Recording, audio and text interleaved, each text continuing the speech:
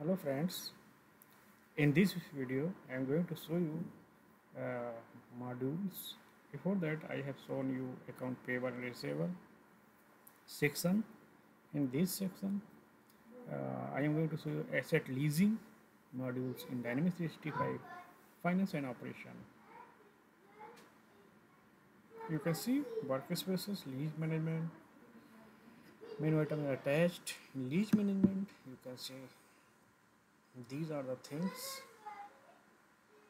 All leases aid lease book connected this year all those things. Now i will go again to this menu. I close this.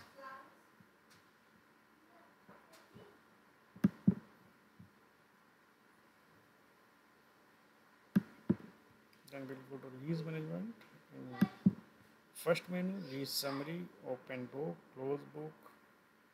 Books not yet acquired. Expiring lease query book commented this year. Expiring book query lease terminator then lease import framework and these journal entries. Asset leasing uh, journals. And periodic section index rate revaluation batch journal creation confirmation batch create schedule batch termination proposal process ready for termination leases after the inquiry and reports whatever error logs import error logs lease transaction lease report. In this five year lease five year undiscounted payment forecast lease movement lease modification lease commencement lease balances forecast asset movement then disclosure weighted average discount rate GAAP cash flow GAAP cash flow differences report. After that setup section.